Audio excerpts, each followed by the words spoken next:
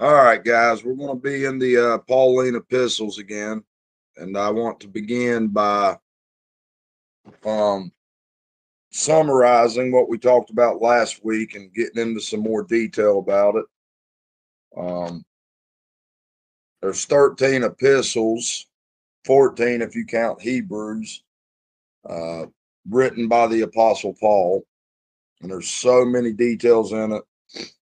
Um, my my plan here is to give you a overview of what that section of the Bible is about, so that you'll understand uh, why it's in your Bible and and how to properly minister these things. And so here in Acts 26, 17 through 18, um, we have uh, Paul's own words about what Christ told him when he appeared to him and what he was being sent to do and who he was being sent to. Uh, the first thing notice in the in the verse is that Christ was sending the apostle Paul to the Gentiles. He says that he was going to deliver him from the people, meaning Israel, and from the Gentiles, unto whom now I send thee. And then he's told why he's being sent to the Gentiles is to open their eyes.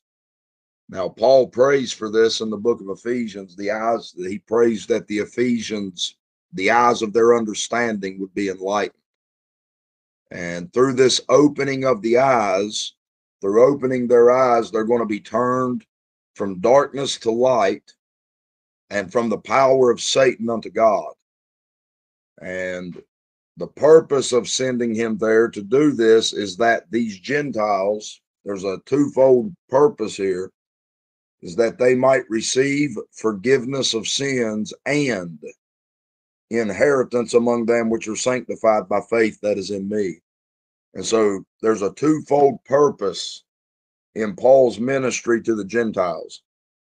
Uh, the first purpose is for them to receive forgiveness of sins, that they might be saved, and also that they might receive an inheritance. Now, notice this among them which are sanctified by faith that is in me. Now, the word sanctified means to be set apart for God. It's it's it's uh, sanctification means that you you've been set apart to fulfill a specific purpose for God. Uh, even furniture back in the Old Testament, uh, the furniture of the temple was was holy. It was sanctified. It was set apart to fulfill a specific purpose, uh, such as the altar. The altar was set apart by God to be a place for him to receive sacrifices and gifts for sin. And so, as a uh, these Gentiles that receive forgiveness of sins are set apart by God uh, for to receive an inheritance, and that inheritance is for a sanctified people, a people that's been set apart to fulfill a holy purpose of God.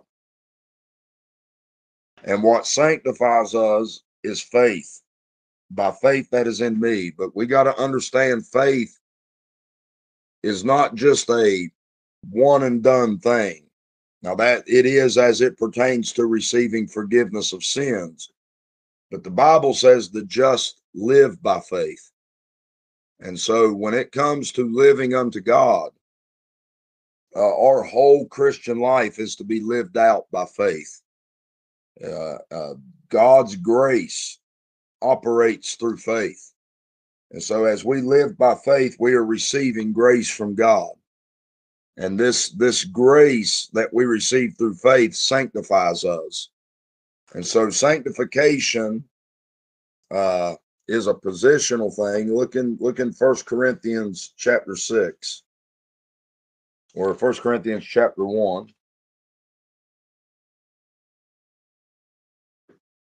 First Corinthians 1, verse 2 says, Unto the church of God which is at Corinth, to them that are sanctified in Christ Jesus. And so right there we see that sanctification is a positional thing. Uh, nobody outside of Christ is sanctified. Uh, we have to be in Christ to be sanctified unto God. However, if you look at first or second Timothy chapter two, second Timothy chapter two, Paul says, uh, verse number 20, but in a great house there are not only vessels of gold and of silver, but also of wood and of earth, and some to honor and some to dishonor. If a man therefore purge himself from these, he shall be a vessel unto honor, sanctified, and meet for the master's use, and prepared unto every good work. And so you got to understand sanctification is a positional thing, but it's also once we're in Christ, as we purge ourselves from all errors and from all sin and things like, like that, as the word of God washes us, as, as Paul said in Ephesians, that Christ gave himself that he might sanctify and cleanse us by the washing of water by the word. And so the more we grow up in the word of God and the more that we receive the word of God, the more we're being sanctified uh, for God's use and for God's purpose. And so I just want you to understand that that the inheritance that we've that we've been set apart to receive is so that we can fulfill a holy purpose of God. And this is what Paul talks about in Second Timothy chapter 2 or chapter 1, uh, verse number 9, where he says that God hath saved us and called us with a holy calling, not according to our works. And so your works, your works cannot, God did not give us this holy calling according to our works. He gave us this holy calling according to his own purpose and grace. And so it's his grace that brings us into this holy calling, prepares us for this holy calling, sanctifies us for this holy calling, for us to fulfill the purpose that he gave us in Christ before the world began. And so before the world ever began, God had already purposed in himself that he was going to create this church and that all who believe the gospel would receive forgiveness of sins and be brought into this church to receive an inheritance to fulfill a purpose that he gave us in Christ before the world began. And he's he's given us this through his grace and he's preparing us through this for this by his grace. And so what you're receiving in Paul's epistles is grace from God that that gives you forgiveness of sins it teaches you about this calling that God has given us and that grace also builds you up and edifies you uh, for that inheritance. Uh, Acts 20 and 32. I didn't put this verse on the slideshow, but if you look in Acts 20 and 32, we talked about this verse last week. And I want you to understand this. Acts 20 and 32, the Apostle Paul says, And now, brethren, I commend you to God and to the word of his grace, which is able to build you up and to give you an inheritance among all them which are sanctified. And so the we see there that the inheritance, every person in the body of Christ is going to get an inheritance.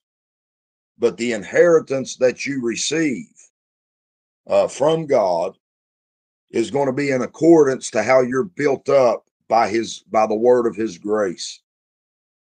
And so Paul's ministry is not just to save you and to give you forgiveness of sins. His ministry is to educate you about this inheritance and this calling of God, and then to build you up and to transform you by the renewing of your mind, that you may be a person that's truly furnished unto the good works that God has ordained for his church. And so, and so we are going to receive our inheritance based upon uh, our qualification through the doctrine of God. God's doctrine has been given to us to transform us into that new man that knows how to walk pleasing unto God. And that's how the inheritance is going to be determined. And so, and so Paul's ministry was also given to build us up uh, for that calling and for that inheritance. And so, and so just know that, that this calling that God gave us when he saved us and called us, we were a part of a calling to fulfill a purpose that God gave us in Christ before the world began.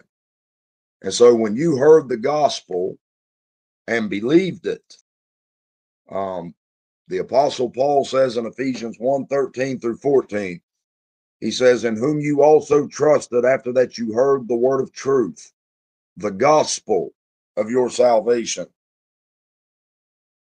Now, the gospel of your salvation is what Paul defined in 1 Corinthians 15 1 through 4. The gospel of our salvation is how that Christ died for our sins and that he was buried and that he rose again the third day. Uh, Paul calls that the preaching of the cross in 1 Corinthians chapter 1. Christ and him crucified, uh, which is the power of God unto salvation. And so Paul Paul says that after we heard that and trusted in Christ, not only did we receive the forgiveness of sins, but he says also in Ephesians 1 13 that in whom also after that ye believed, ye were sealed with that Holy Spirit of promise, which is the earnest of our inheritance. And so after we heard that gospel and believed it, we were sealed with the Holy Spirit of promise as the earnest or the guarantee of our inheritance, the down payment of our inheritance, so to speak. And so everybody that has trusted and believed the gospel has been sealed as as the as the church of God. They've been sealed in Christ as a purchased possession. And that promise of God is the earnest of our inheritance until the redemption of the purchased possession. And so, what God was doing when you heard the gospel, God was calling you uh, into this holy calling that He's given us in Christ.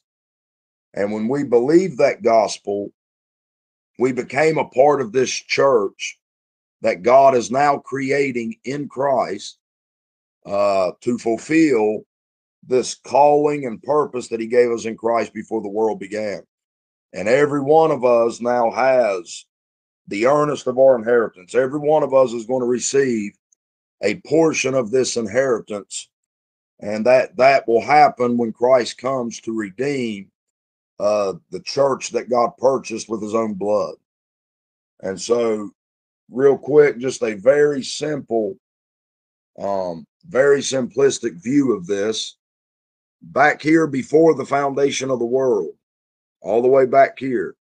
We were chosen. Now, that doesn't mean God chose individuals. What, what he did was God determined that he was going to create this church in Christ. And so God chose to create this church, and he determined that all who believe the gospel was going to receive the forgiveness of sins and inheritance. And so he chose us in Christ before the foundation of the world that we should be holy and without blame, that we should be holy and without blame. Uh, this church is holy unto God. It is something special to God. And he chose us in that position before the foundation of the world and predestinated us to the adoption of children. so what that means is when he chose us to the adoption of children, he chose us to become sons to receive an inheritance. And so because of that, right here at the cross, Jesus Christ shows up. He goes to the cross and and and sheds his own blood. He spills his own blood for the redemption of that church. Now, up to that point, it had been hidden God. Uh, Satan didn't know this, that when Christ was dying on the cross, that he was purchasing, he was shedding his blood to purchase a people, uh, to fulfill this, this election and predestination of God before the foundation of the world. And so when Christ dies on the cross, he's dying to pay the price to redeem this church that it might fulfill this purpose that God gave us before the world began. And then after the cross, the apostle Paul was sent out by Jesus Christ to preach the gospel that the that the Gentiles might be called and receive forgiveness of sins and be called and sealed in Christ as this church that has been to fulfill this this predestinated purpose God gave us in Christ. And so when we heard the gospel out here, we were called by God and sealed by that Holy Spirit of promise to this special purpose that God gave us before the world began. And when this church is complete, Christ is going to rapture this church. The redemption of the purchased possession is when Christ comes and claims uh, his people uh, that have believed the gospel. And then we go up here to receive our inheritance in the heavenly places. And so, um, back to Second Timothy now. Paul after he says this about that God hath saved us and called us with a holy calling, he says, Not according to our works, but according to his own purpose and grace, which was given us in Christ Jesus before the world began, but now is made manifest by the appearing of our Savior Jesus Christ. And so God purposed this before the world began, but it wasn't made manifest until the appearing of our Savior Jesus Christ. And then Paul says in the next verse, he says, Whereunto I am appointed a preacher and an apostle and a teacher of the Gentiles, for the which cause I also suffer these things. and so Paul was appointed a preacher and an apostle and a teacher of the Gentiles in accordance to this manifested purpose of God. And so understand that that's Paul's specific appointment um, by God. Uh, Paul was appointed by God, by the Lord Jesus Christ, according to this revealed, this purpose that God gave us in Christ before the world began and is now made manifest. And so know that, understand that Jesus Christ shed blood for you, not just to keep you out of hell. He shed blood for you because God, before the foundation of the world, predestinated this church to adoption to fulfill a purpose that he gave us in Christ before the world began. And then after Jesus Christ shed his blood, the Apostle Paul says in Ephesians 1 9 through 11 that God has made known unto us, get this now, made known unto us the mystery of his will according to his good pleasure, which he hath purposed in himself. Now, in verse 10, he says, Now here is the purpose of God. We're getting ready to read this, but we're going to talk about the mystery of this purpose. The purpose of God is that in the dispensation of the fullness of times, he might gather together in one all things in Christ, both which are in heaven and which are on earth, even in him. And so the purpose of God is the gathering of two things in Christ together in one. And then Paul says in verse 11, in whom also we have obtained an inheritance being predestinated according to the purpose of him who worketh all things after the counsel of his own will. And so your inheritance, the inheritance that we have obtained, is according to this purpose of God that Paul lays out in verse 10. We have obtained an, uh, an inheritance in accordance to what God has purposed for all things in heaven and earth. And so what, what Paul is saying is our calling is to receive an inheritance that God predestinated the church to receive before the foundation of the world to fulfill the mystery of his eternal purpose. And so the eternal purpose of God concerns the earth and the heavens being gathered together in one. Our inheritance is in heaven to fulfill the mystery part of that purpose. And so I hope that makes sense to you guys. This is what God has made known to us, not the entire, when Paul says that God's made known to us the mystery of his will, he's not saying that the will of God in the Old Testament was a mystery. God, God revealed in the Old Testament his purpose in the earth. What he's now made known is the mystery of his will concerning heaven and earth. And our inheritance, as Paul said in Ephesians 1 3, our inheritance, God has blessed us with all spiritual blessings in heavenly places, according as he chose us in him before the foundation of the world, that we should be holy and without blame before him in love, having predestinated us to the adoption of children. And so God, God before the foundation of the world predestinated us to this inheritance, and we've now been blessed in the heavenly places in Christ uh, to obtain this inheritance. And the reason God has given us this inheritance is to fulfill uh, this eternal purpose that He's purposed in Himself concerning all things in heaven and earth. And so when we come to Colossians now, we're going to see what Paul is talking about about all things in heaven and in earth. And so in Colossians 1 6 10, notice the phrase by him, because he's going to talk about by him also in Colossians 1 20. But in Colossians 1 16, it says, For by him were all things created that are in heaven and that are in earth, visible and invisible, whether they be thrones or dominions, principalities or powers, all things were created by him and for him. And so the creation of all things, and what he means there by all things is thrones, dominions, principalities, or powers. This these these these governments, these positions of authority, they were all created by Christ and for Christ.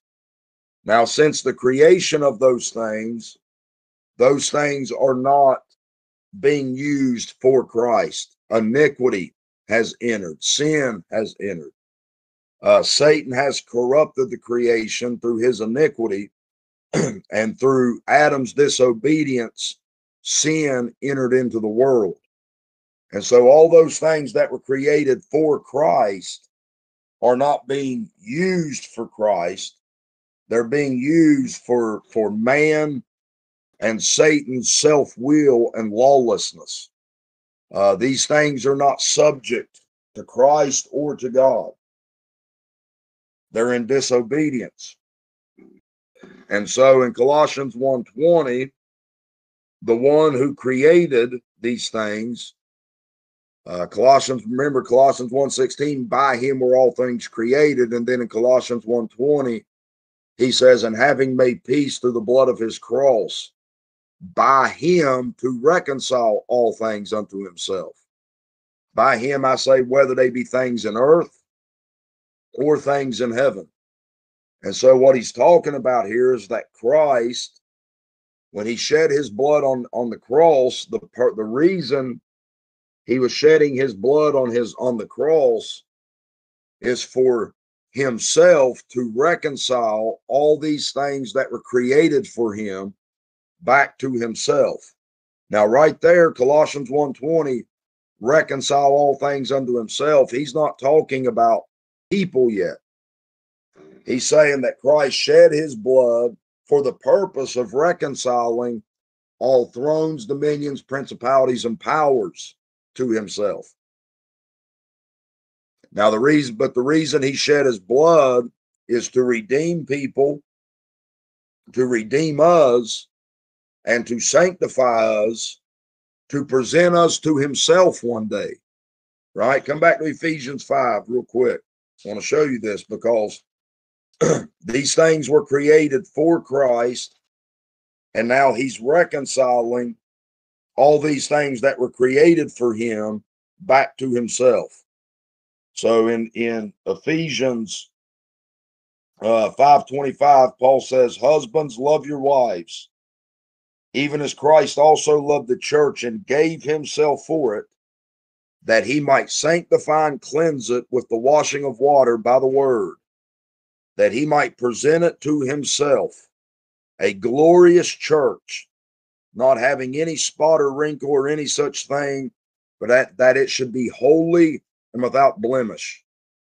And so we see there that Christ died for the church, redeemed it, so that he could sanctify and cleanse it. Verse 27 that he might present it to himself. And so one of these days, Christ is going to present this church to himself. And why is he presenting this church to himself? He's going to present this church to himself and set this church in these thrones, dominions, principalities, and powers for the purpose of reconciling those things unto himself. And so he's going to remove all iniquity from heaven and earth and install in in his his own creation these people that have been been forgiven, saved, and sanctified for this purpose. And so now we're starting to learn what our actual calling is, why we've obtained an inheritance. We've obtained an inheritance for the purpose of receiving uh, a position in in Christ's government and to be a holy people so that those thrones, dominions, principalities, and powers will actually be used for him instead of against him. And so we're going to be set in those positions for the purpose of reconciling those things back to Jesus Christ. And when you understand that calling, guys, what type of people should we be? What holy people we should be? What righteous, godly people we should be, knowing that we've been called to reconcile uh, the government that was created for Christ back to him. We are created to be to to be used by Jesus Christ for the purpose of reconciliation. And so in the next verse Paul now says and you. And so here we see now that everything was created by Christ. He died on a cross to reconcile all those things to himself. And then in Colossians 1:20, this is where you come in. He says, "And you that were sometime alienated and enemies in your mind by wicked works, yet now hath he reconciled in the body of his flesh through death to present you holy and unblameable and unreprovable in his sight." And so now we see why we've been reconciled. We've been reconciled for the purpose of being presented one day. Uh, one second, guys. Hey, let me call you back. I'm on the Discord with the Philippine guys teaching this class. I'll call you back about an hour. All right, bye. All right, sorry guys. Um, Colossians 1 or, or right here we, we are we've been reconciled to be presented one day. And so the reason that that we've been that we've been saved and reconciled to Jesus Christ is for a future presentation. One of these days we are going to be presented to Jesus Christ. He's going to present us to himself for this purpose of reconciliation. And so we're going to be presented to him, and then he's going to place us somewhere in uh somewhere in that that government that's been created for him. He's going to he's going to give us a position in those thrones, dominions, principalities, and powers for the purpose of reconciling those things unto himself. But look in Colossians now, Colossians 1:23, and I want you to see that yes, we've been reconciled, our reconciliation is past. Paul says, Now hath he reconciled in the body of his flesh through death. We've already been reconciled. But this presentation, if you look at Colossians 1:23, Paul says, if that means there's a condition. And it, it, the, the condition there doesn't deal with your reconciliation. You've already been reconciled. The condition is about your presentation one day. And so Paul says that if we continue in the faith, grounded and settled. And so our presentation, being presented holy, unblameable, and unreprovable in his sight, is conditional. We have to be sanctified and washed by the water of the word to be presented holy and unblameable and unreprovable in his sight. And that's why Paul said, if you continue in the faith, if you continue in the faith, it doesn't just mean continuing in the faith, doesn't just mean that 20 years after you believe, you still believe what you believed 20 years ago.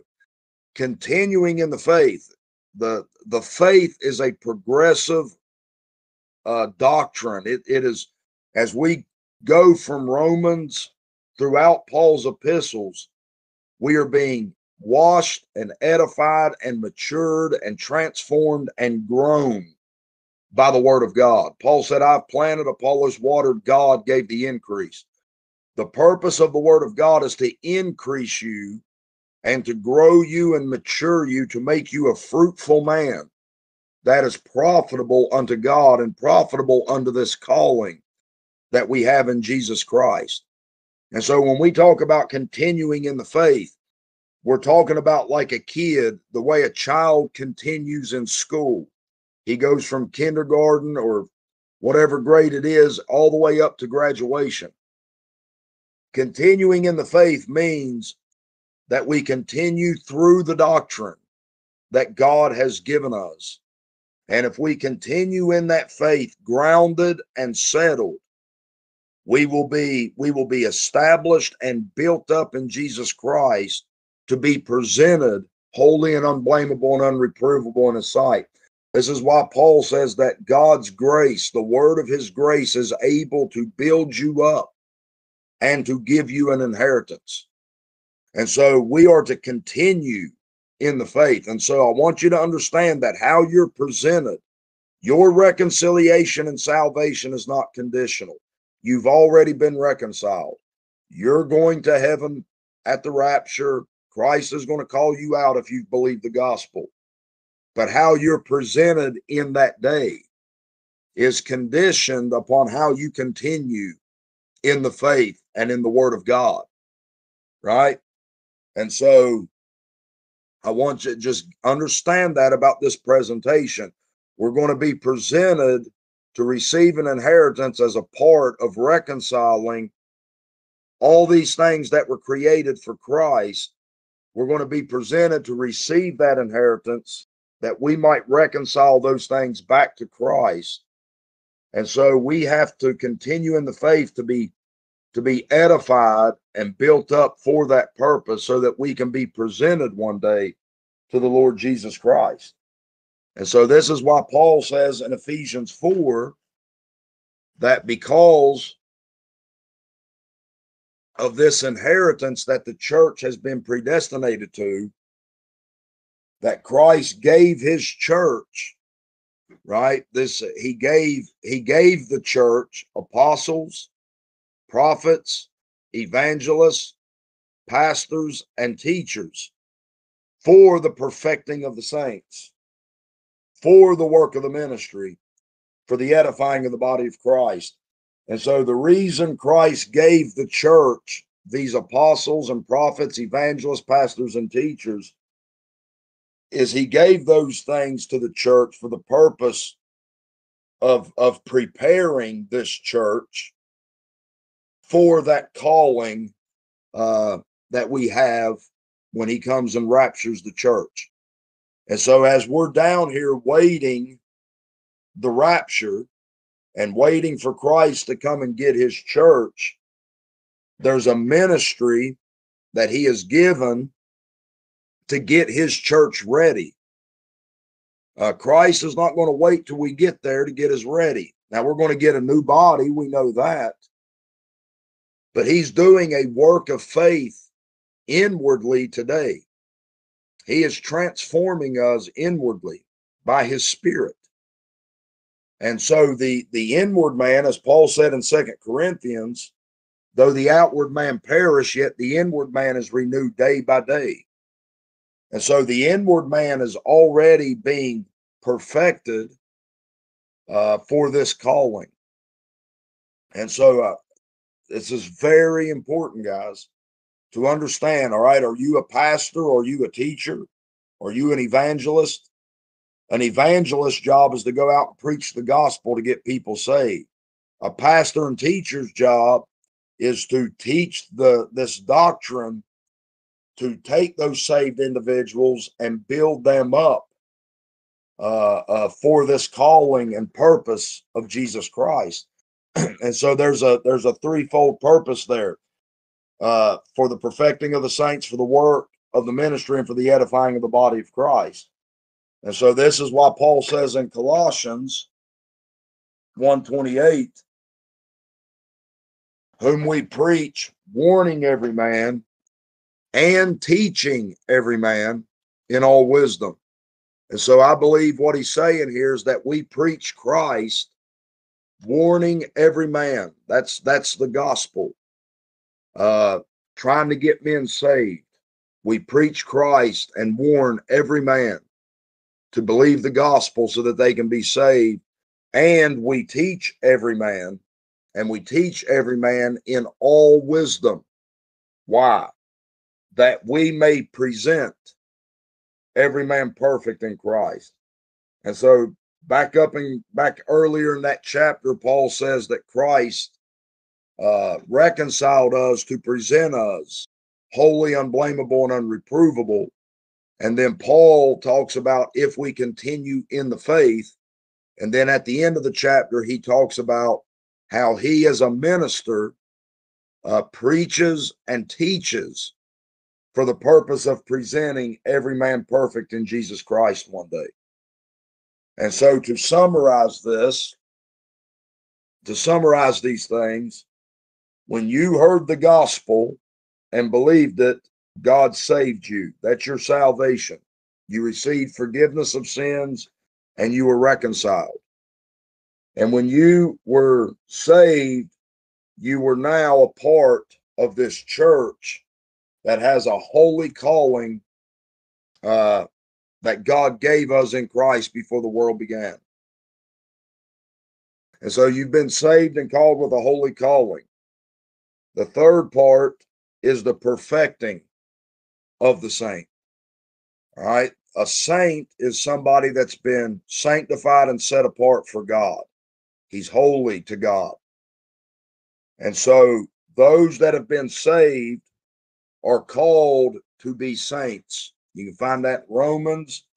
Uh, you can find that Corinthians that we are called to be saints, called to be holy and sanctified unto God.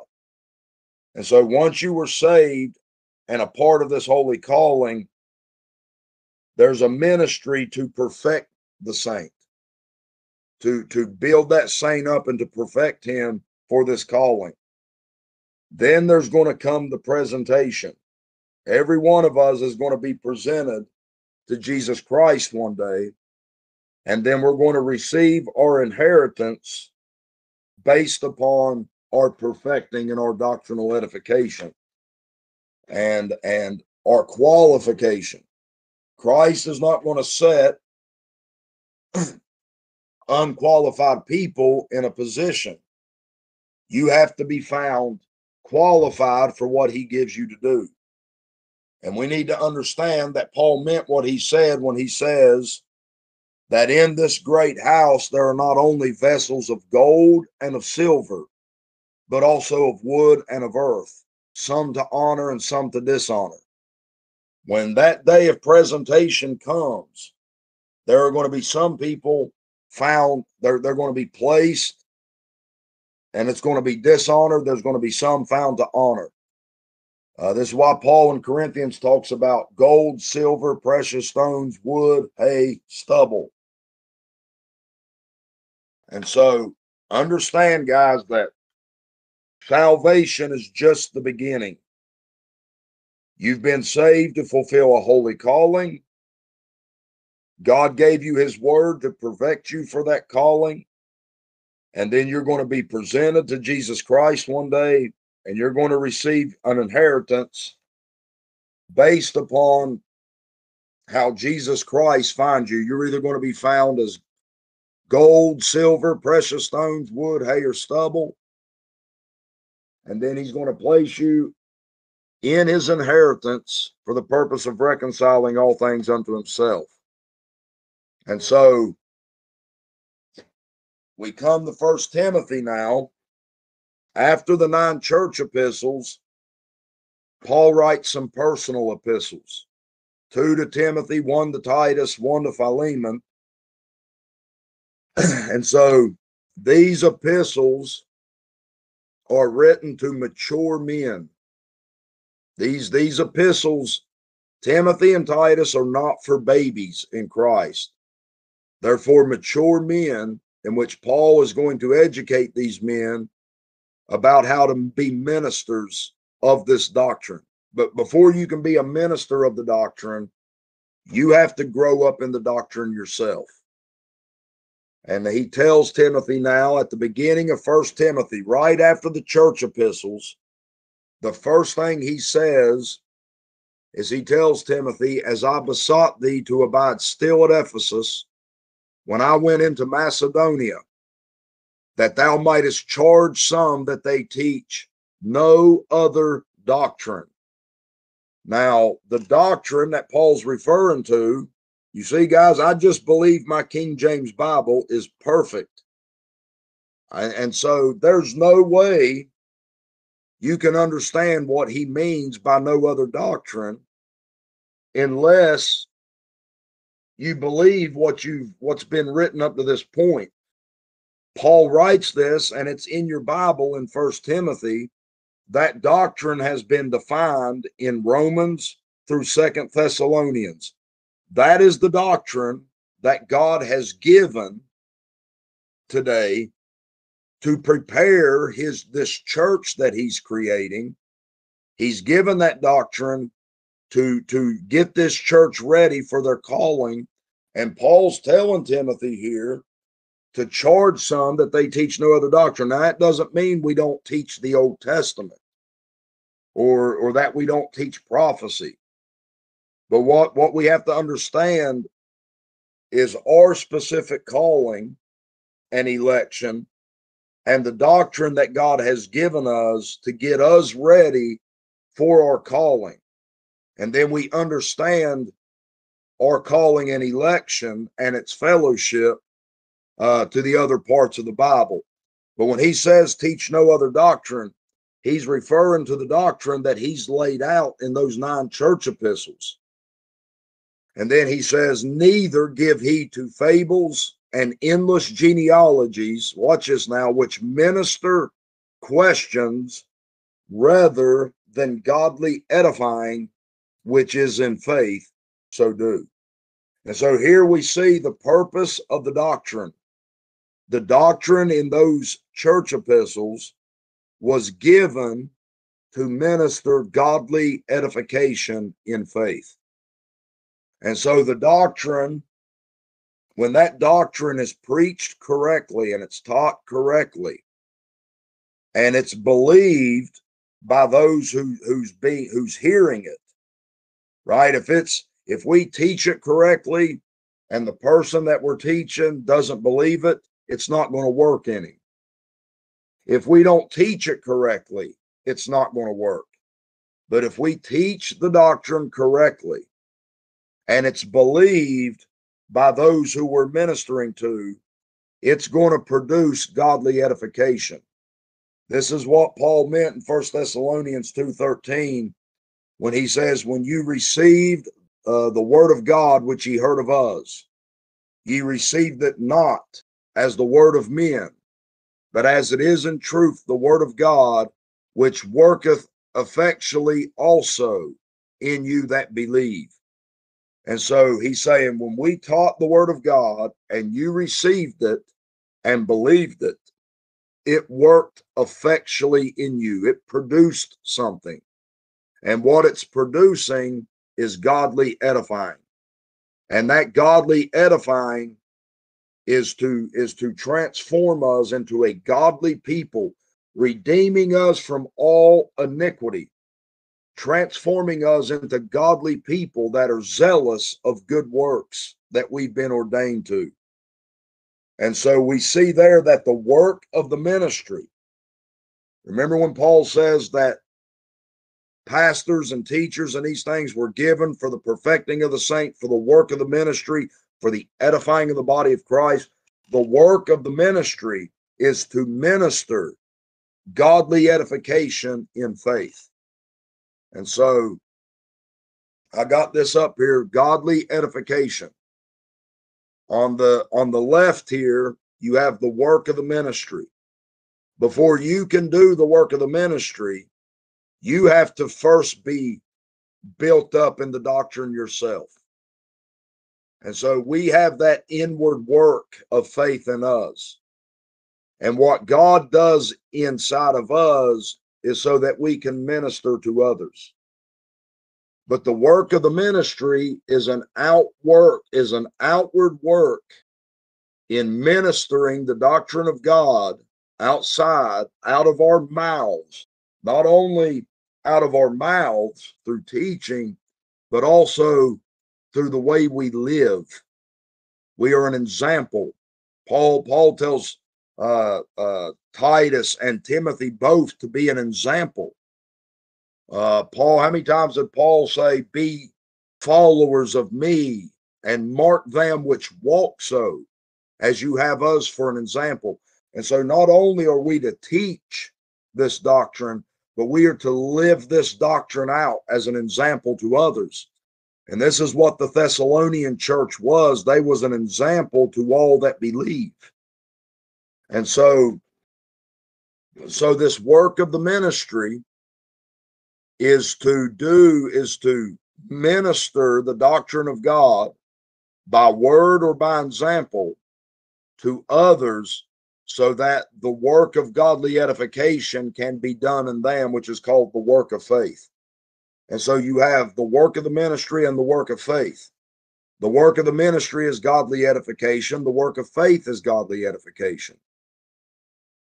And the way that godly edification happens is through the ministry of the doctrine of God to believers. And as that doctrine is believed it is it is producing godliness inside of those who believe it. And so the, uh, this is important guys. And so what is the purpose of this godly edification? It is to perfect the saint for that purpose in the body of christ. It is to get that saint ready for the life that is to come. Not only the life that now is, but also the life that is to come. And so godliness is to is to get us ready not just for what God wants us to do now, but also what he's called us to do in the world to come. We have a high calling of, of, of God. Uh, Paul says that in Philippians. Look at Philippians chapter 3 real quick. Philippians chapter 3, verse number 12.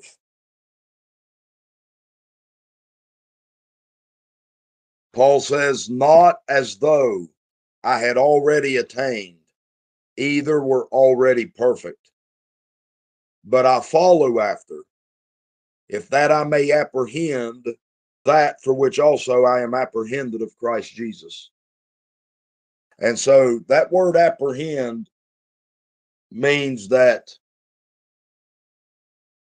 taken possession of or to attain or to arrive at something. And so what Paul is saying here is that Christ apprehended him. And Christ apprehended him for a purpose.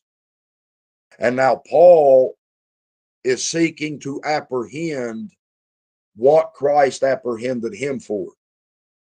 And so Paul was not one of these believers that thought, well, I believe the gospel and I'm going to heaven. That's enough for me.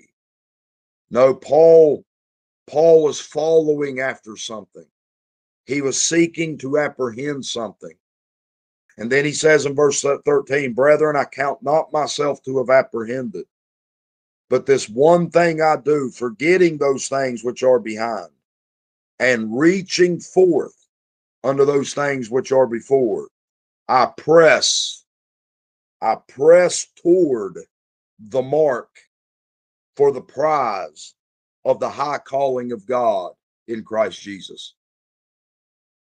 Oh, that high calling, guys, is, is something unbelievable that we've been called by God to obtain an inheritance to reconcile the things that He created for His Son. We've been called to set in things, in positions that God created for the Lord Jesus Christ so that we can reconcile those things to God's Son. And Paul is seeking to be perfected through faith. He is, he is, he is seeking to know Jesus Christ and the power of his resurrection and the fellowship of his sufferings, being made conformable unto his death. He is seeking to apprehend and attain that perfection that is in God's Son, that he may receive that prize of the high calling of God. And so I want you to understand that there's more to this than just getting saved and not going to hell. There's an inheritance that we've been predestinated to, and there's a doctrine that's been given by God to be ministered to you through faith to perfect you and to build you up and to and to transform you from iniquity to godliness that you may be presented uh, valuable and profitable in that day that you may obtain an inheritance through that through that building up of the doctrine of god. And so when you understand this doctrine now paul in second timothy um he's getting paul's getting ready to die he says at the end of this epistle he tells Timothy to make full proof of his ministry, to, to watch in all things, make full proof of thy ministry, do the work of an evangelist. Uh, for the for I am now ready to be offered, and the time of my departure is at hand. Paul's Paul's done. He has fulfilled his ministry, and he's now ready to be offered. He said, "I fought a good fight. I finished my course. I kept the faith. Hence, Henceforth there's laid up for me a crown of righteousness, which the Lord, the righteous judge, is going to give me in that day. I believe that's the prize Paul was seeking to attain. And that crown is something that the righteous judge is going to give Paul. And he charges Timothy in Second Timothy uh, he charges him before the Lord Jesus Christ, who's going to judge the quick and the dead at his kingdom, at his kingdom and his appearing to preach the word and to be instant in season, out of season. He tells him to make full proof of his ministry. And so, what he wants Timothy to understand is Timothy, Jesus Christ is going to come and he's going to judge one day. And I want you to make full proof of your ministry so that when he comes and judges the quick and the dead, you may attain this crown also. And so Paul getting ready to he he's he's done in the ministry. He's getting ready to die. And now he's committing this ministry to Timothy and not to Timothy only, but to all faithful men right? Because he tells Timothy in 2 Timothy 1:13 to hold fast the form of sound words which thou hast heard of me in faith and love which is in Christ Jesus. And then in chapter 2 he says, "And the things that thou hast heard of me among many witnesses, the same commit thou to faithful men who shall be able to teach others also. And so he's he's leaving Timothy here with two commands to hold fast what he's heard of Paul and to take those same things that he heard of Paul and commit them to other faithful men who will be able to teach others. But what I want you to notice now is what Timothy is to hold fast is the form of sound words. He doesn't just say, hold fast the sound words.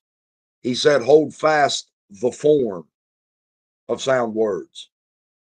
So the, the, the words that Paul spoke, the words that Timothy heard, have a form to them. And that, that is very important to get. So do you we have to ask ourselves now does the bible have those words in the form that we are to hold fast absolutely romans through we looked at this last week but there's the form of sound words and you cannot break this pattern guys in first corinthians chapter 3 paul said I, sp- I had to speak unto you as unto babes. I fed you with milk. Corinthians is milk for babies. Galatians 4:19 he says my little children. In Ephesians he says that you be no more children. In Philippians he says that you may be harmless and blameless the sons of God. In Colossians he talks about presenting every man perfect in Christ. And then in Thessalonians he says that those Thessalonians are an example to all that believe. And so that's the form. If you take a newborn baby, a new Christian, and try to teach him Colossians, you've broken the form. Paul didn't just say, hold fast the sound words. Everything that he wrote in Romans through Thessalonians is sound words. But he didn't just say, hold fast the sound words. He said, hold fast the form. Because this is the faith that God has given his church. And if we continue in that faith, meaning we begin in Romans and we continue in that faith from Romans through Thessalonians, we are going to be presented wholly unblameable and unreprovable in God's sight. Some people, guys, some Christians never even get established in Romans. Some Christians never grow up from babies. Some are, are going to be presented as little children. And so, this is the word that God gave us from Romans through Thessalonians to edify us unto our inheritance. And so, wherever you're found, now remember, Paul said, I have laid the foundation. That's Romans. And another buildeth thereupon. Let every man take heed how he buildeth thereupon. And then he says, For if any man build gold, silver, precious stones, wood, hay, and stubble. Now it's just interesting that after Romans, you have six churches Corinthians, Galatians, Ephesians, Philippians, Colossians, Thessalonians. That would be the Corinthian stubble, Galatian hay, Ephesians wood, Philippians precious stones, Colossians silver, Thessalonians gold. And so after this foundation in Romans, the rest of the doctrine is for the purpose of building upon that foundation. And every one of us is going to be found somewhere in this uh, uh, somewhere in this edification, we're either going to be found like babies, little children, whatever it may be. But just know that there is a form to the doctrine. Uh, you don't take a you don't take a uh, a five year old and start teaching him high school material. You got to first teach him the ABCs and and how to count. You got to you got to teach a kid the uh, ABCs before he can read. You got to teach a child how to count before he can do math. And so these these people who who think that the word of God is not in the order that we are to read it and to grow up in it, line upon line, precept upon precept, they're ridiculous. They're absolutely ridiculous, brothers. I, I want you to understand that. And the reason I'm saying that, guys, is because if you hold to this and you teach this form the way it's supposed to be taught, there's a lot of people that's going to attack you for it, just like they did Paul.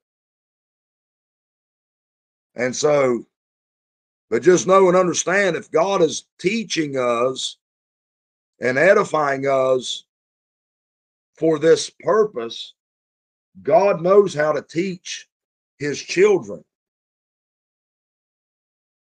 And so the, the doctrine of Paul goes from foundational and then progresses from milk to strong meat.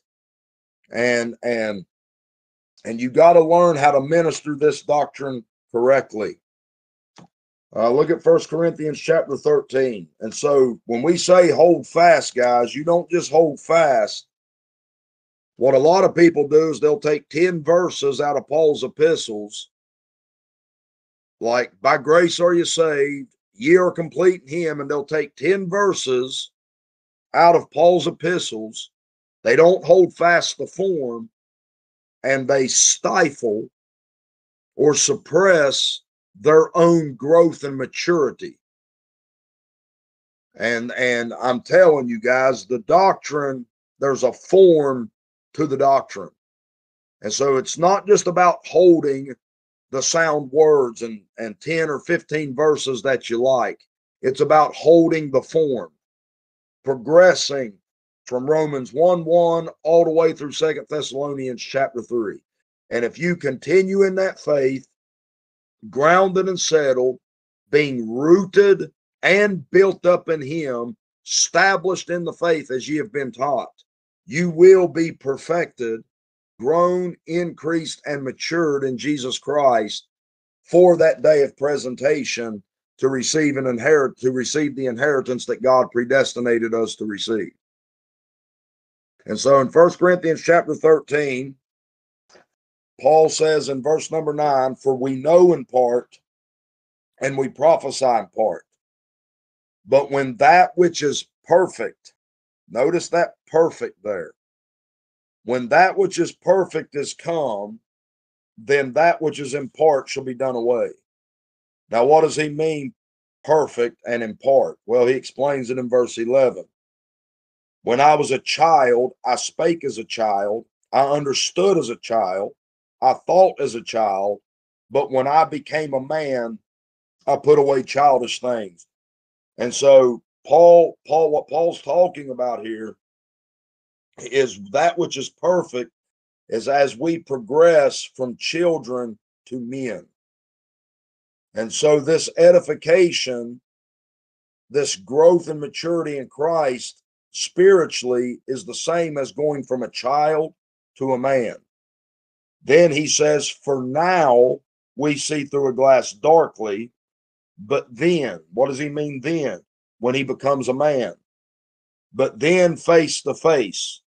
Now I know in part, but then shall I know, even as also I am known. And this is what Paul is seeking to attain to in Philippians when he says, That I may know him when he says, I've suffered the loss of all things for the excellency of the knowledge of Christ Jesus my Lord. He doesn't want to know Christ vaguely or darkly through a glass. He wants to know Christ face to face. He wants to be perfected in the excellency of the knowledge of God's Son. That's what Paul is striving for. Not to be some some puffed up man that can teach a Bible chart or or anything else. He wants to know God's son. He wants to have the knowledge of Christ perfected in him, to be completely transformed into this new man that we've been created to be in Jesus Christ. But he says in verse 13 now, and now abideth.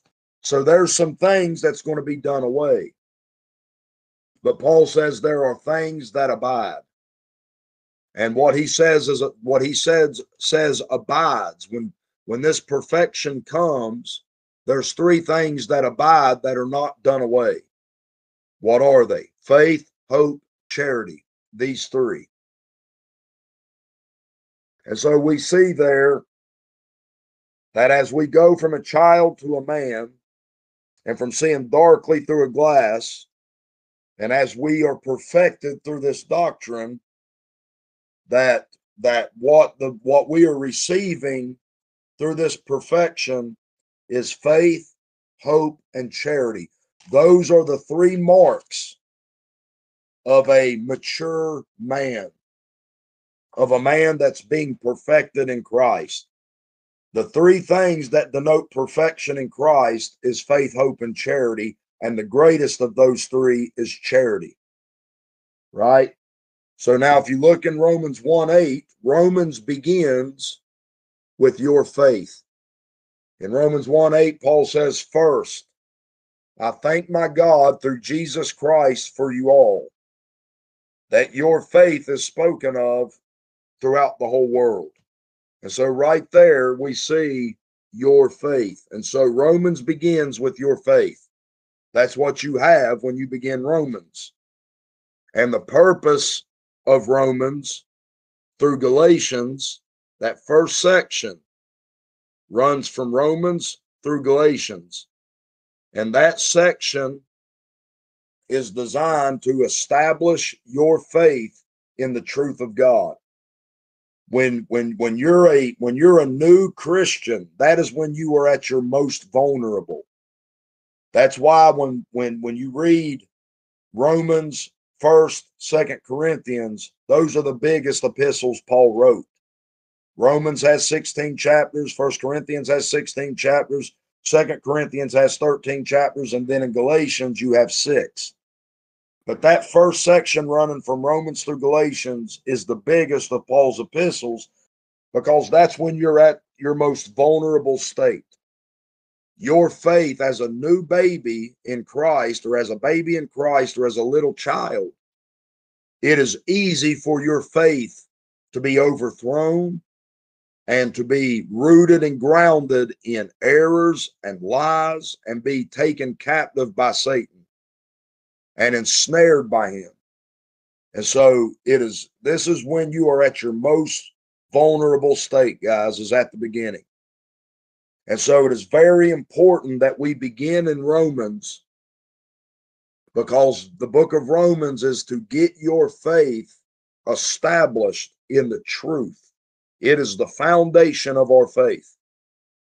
And so the first part of that Bible, the first part of that doctrine of Paul is to establish the believer on the right foundation and then to grow him and mature him from a baby up to the book of Ephesians. And so it is to when when Paul when Paul told the Corinthians there was things that he couldn't yet teach them because they were yet carnal.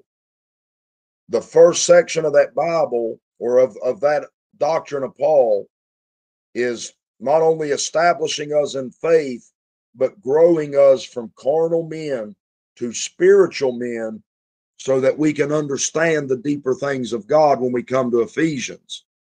You're not going to skip Romans through Galatians and come right into Ephesians and think that you're going to understand it. It's just not going to happen. Uh, you have to have a spiritual mind to comprehend some things. And so there's there's part of the epistles is written to carnal people who have carnal minds to to renew their mind from a carnal to a spiritual mind. And so now when we come to Ephesians, we see that growth and maturity has taken place because Paul doesn't just talk about faith in the Ephesians. He says in Ephesians 1:15 he says wherefore I also after I heard of your faith in the Lord Jesus and love unto all the saints. Now remember back here faith, hope, charity. And so Romans began your faith. Now it talks about your faith and love. Faith in the Lord Jesus, love unto all the saints. And so we see that by the time you get to Ephesians, from Romans through Galatians, there's been some development that took place. Your faith has been established and you have grown through that faith, through that obedience of faith, you have grown unto love unto all the saints. And now, what Ephesians is going to do is continue to grow and perfect you in that love. If you look there in Ephesians chapter 3, uh, Ephesians chapter 3, I'm almost done, guys. Ephesians 3, uh, verse number 16. Paul's prayer here is that he would grant you, according to the riches of his glory, to be strengthened with might by his spirit in the inner man.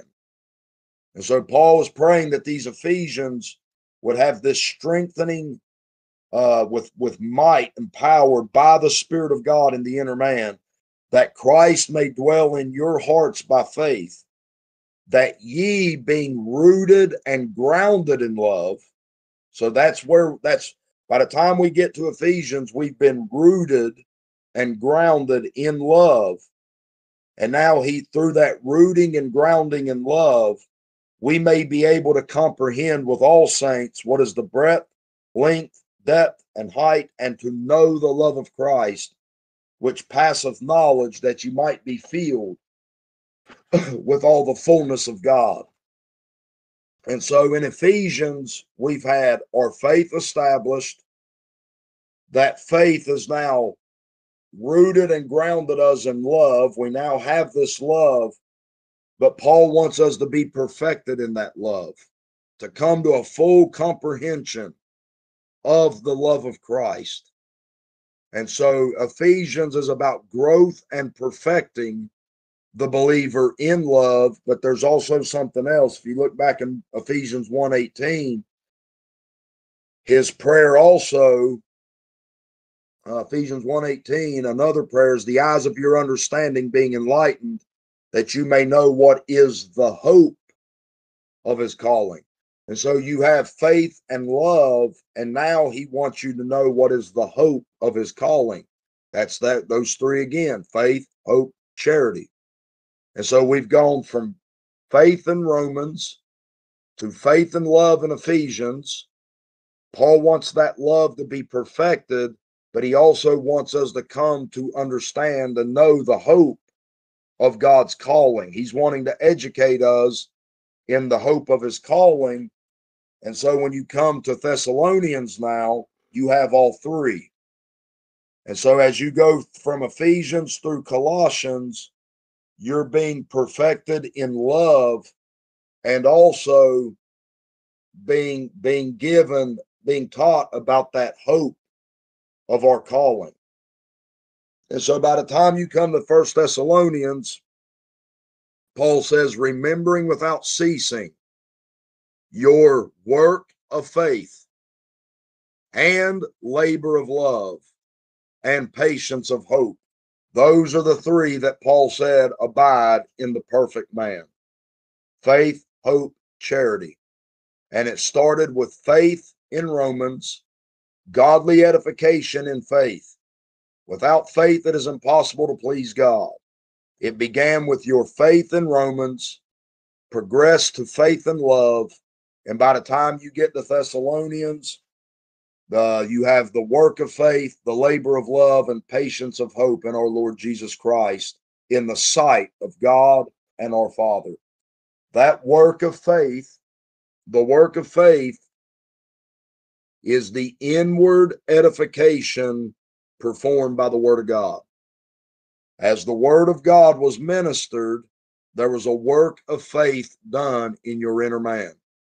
It built you up, establishes you, roots you, and grows you and matures you unto that, unto Christ. What it is, is it's it's building Christ up in your inner man. That's the work of faith.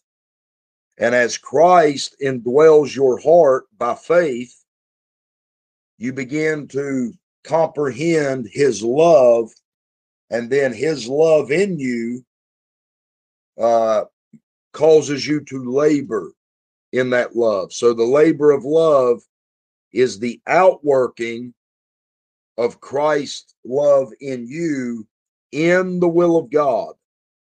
God worketh in you both to will and to do of his good pleasure. And so the purpose of the work of faith is for God to do a work in you that you might that you might be able to do his will. When Paul says work out your own salvation with fear and trembling for it is God that worketh in you both to will and to do of his good pleasure. That's what he's talking about. God is working in you through his word to transform you and build you up to somebody that can do his will. That's why Paul said, Be transformed by the renewing of your mind that ye may prove what is that good, perfect, and acceptable will of God. And then the patience of hope is now that the work of faith has been done in you, you're now laboring in that love. The patience of hope is is that we serve God in earnest expectation and patient waiting for his son from heaven as Paul said in in Philippians our conversation is in heaven from whence also we look for the savior and so in Ephesians through Colossians you're not only being perfected in love you're also being taught this hope so that you will have the patience required to do the will of God in that labor of love because that labor of love is a selfless love. It is going to, you are going to be brought into the sufferings of Christ. You are going, He is going to, through His love in you, He is going to cause you to do a will, the, the cry of Abba Father. He is going to cause you through his love to submit in, in a life of service and suffering. And you're going to need patience to do the work of God. Uh, this work of the ministry is one of the most discouraging things in the world. People are going to reward you hatred for love. They're going to do evil when you do good. You're not allowed to avenge yourself. You have to uh, his love, his love commands us to, to, to when we're when we're persecuted, we are to bless. Uh, uh, when we when we are defamed, we entreat it. And in order to do that, guys, the only thing that's going to give you the patience in order to endure those things is hope. Understanding that these sufferings that we now endure in the ministry is is is working for us uh, uh, as paul said our light affliction which is but for a moment worketh for us a far more exceeding and eternal weight of glory while we look not at the things that are seen and so we have to keep our eyes on that hope of glory in order to have the patience to do these things. And so I'm going to close with this right here. And guys, we'll, we'll pick up with this, this stuff right here next week. Uh, I hope you understand the purpose of this ministry, guys.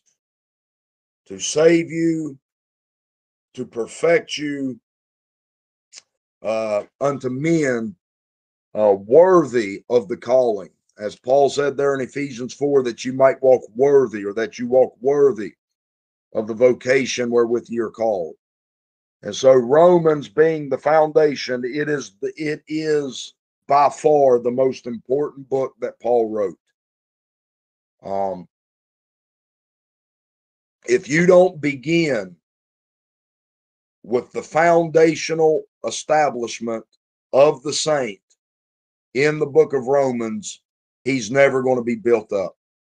The foundation has to be laid first. Everything from Corinthians to Thessalonians is built upon this foundation of Romans. And so, as ministers of God, don't be scared to take your church and to really spend time in the book of Romans, establishing their faith in these what I call the four cornerstones of the of the book of Romans. Uh, and we'll we'll we'll elaborate on this next week, the book of Romans.